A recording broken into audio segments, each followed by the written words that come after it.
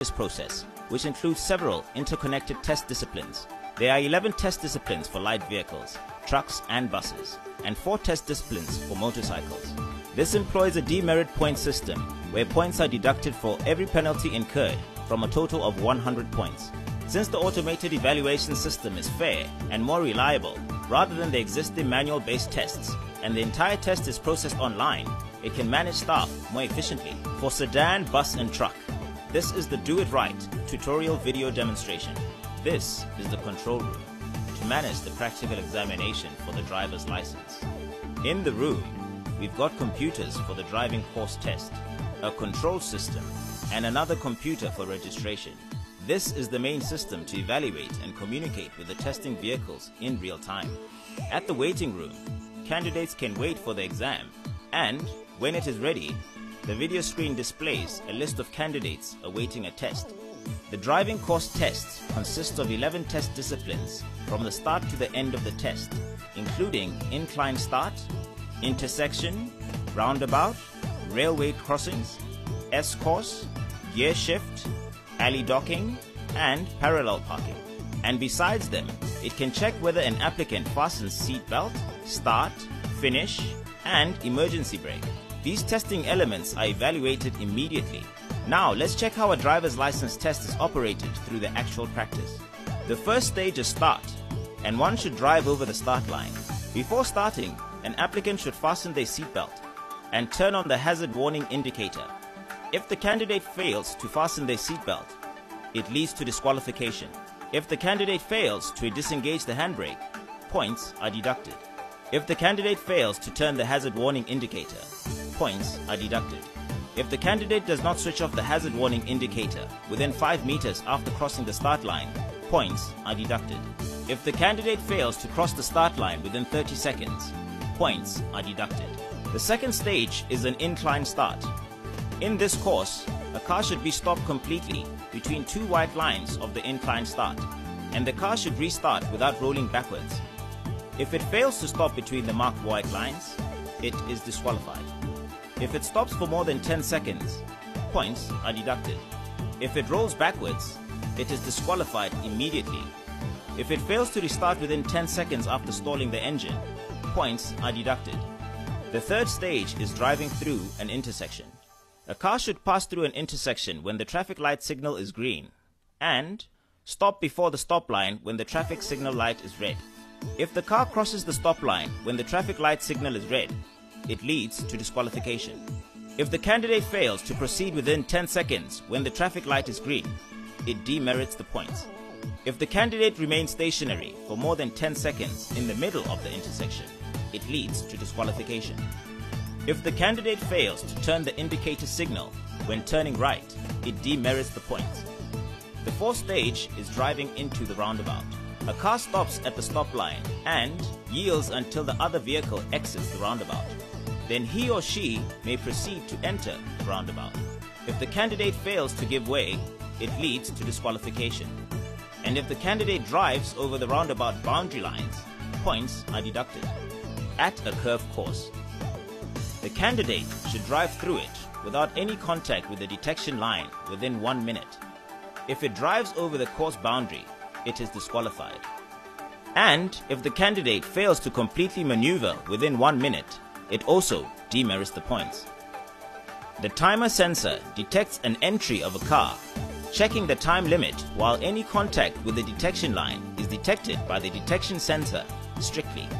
The penalty results are recorded in the display unit, enabling a candidate to consider any remaining points. The sixth stage is an alley docking course. At an alley docking course, the candidate should park within the designated space without any contact with the detection line within 2 minutes. Exceeding 2 minutes or making contact with the detection line gives an applicant less points. If the candidate fails to switch on the hazard warning indicator when reversing, it demerits the points. If the candidate moves forward and backwards after reversing, it is disqualified immediately. The seventh stage is emergency braking. Once an emergency light and a continuous beep turns on, stop the vehicle within 2 seconds and turn on the hazard warning indicators within 3 seconds. And if the emergency light turns off, turn off the hazard warning indicator and restart. If the candidate fails to stop within 2 seconds, when the onboard emergency stop signal appears, it demerits the points. If the candidate fails to turn on the hazard warning indicator within 3 seconds, it demerits the points.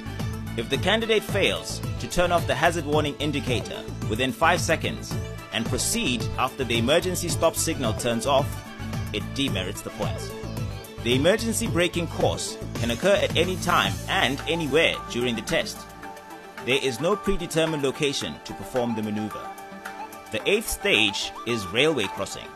An applicant should not stop beyond the stop line of the railway. If a candidate fails to stop within one meter from the stop line, it demerits the points. If the candidate stops over the stop line, it demerits the points. If the candidate crosses the railway line without stopping, the candidate is disqualified immediately. The ninth stage is to maintain a specified speed. In the entire course, an applicant should maintain the speed as 20 kilometers an hour or lower.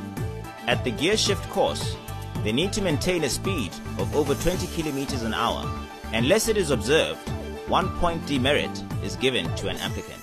If the candidate fails to maintain a speed less than 20 km an hour when entering the mark zone, and thereafter accelerate to more than 20 km an hour, and finally decelerate to less than 20 km an hour, in accordance with the speed restriction, it demerits the points. If the candidate fails to begin in first gear, and upon acceleration change into second gear, and finally, upon deceleration, engage first gear. It also demerits the points. The 10th stage is parallel parking. Locate a car parallel to the confirmation line without any contact with the detection line within 2 minutes. If it fails to stop at the course confirmation line before exiting, it demerits the points. If the candidate drives over the course boundary, it demerits the points. If the candidate fails to switch on the hazard warning indicator when reversing, it demerits the points. If the candidate fails to complete the maneuver within 2 minutes, it also demerits the points. The 11th stage is the finish. An applicant turns on the hazard warning indicator and drives it through until the rear wheels are completely passed through the finish line. If the candidate fails to pass the finish line completely, as well as turning on the hazard warning indicator, it demerits the points. Moreover, if the candidate does not follow course sequence, the candidate will be disqualified immediately. If overall score is 80 out of 100 points or more, the candidate passes the exam. If the overall score is less than 80 out of 100 points, the candidate fails the test and will have to pay and rebook for another test. This is the Do It Right tutorial video demonstration for the motorbike. Candidates must wear protective gear before riding a motorbike.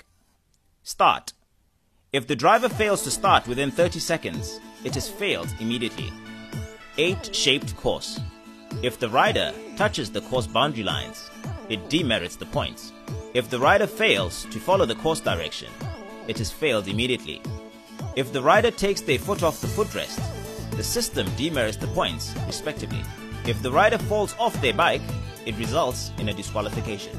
If the rider stalls the engine, it demerits the points. Slalom course. If the rider touches course obstructions, it is failed immediately. If the rider touches the course boundary lines, it demerits the points. If the rider fails to follow the course direction, it is failed immediately. If the rider falls off their bike, it is failed immediately. If the rider takes their foot off the footrest, it demerits the points. If the rider stalls the engine, it demerits the points. Crawling in a narrow road course. If the rider touches the course boundary lines, it demerits the points. If the rider completes the course in less than 7 seconds, it demerits the points. If the rider takes their foot off the footrest, it demerits the points respectively. Emergency braking course. If the rider enters the start line of the course at a speed over 25 km an hour, it demerits the points.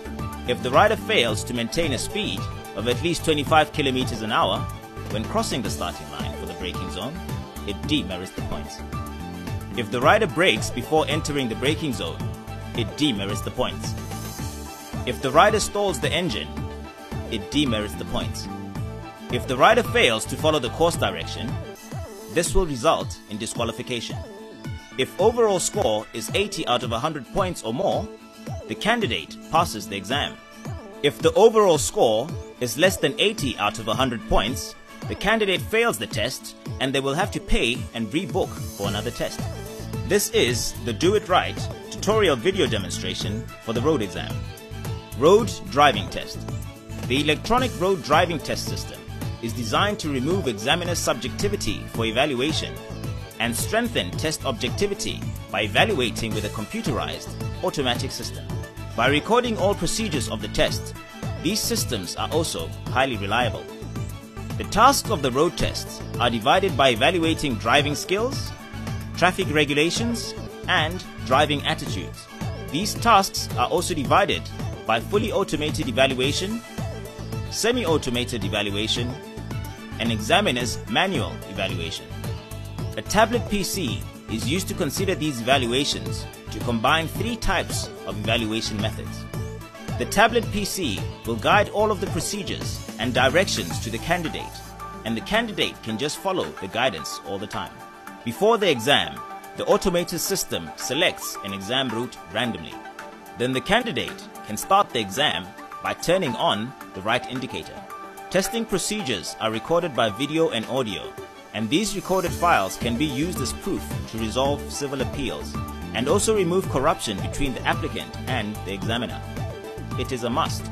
Conclusion As the number of drivers and vehicles increases on our roads, our lives become more convenient due to the availability of transportation. But on the other hand, possibilities of traffic accidents also increases. Taking into account this ambiguity, in order to decrease the danger of traffic accidents and protect citizens' lives and property, systematic and strict driving license tests should be implemented. Botswana is the first African country to take advantage of the advanced, intelligent driver testing system. With these test systems, more numbers of candidates can take the exams in a day, and we can save time and manage the data more efficiently.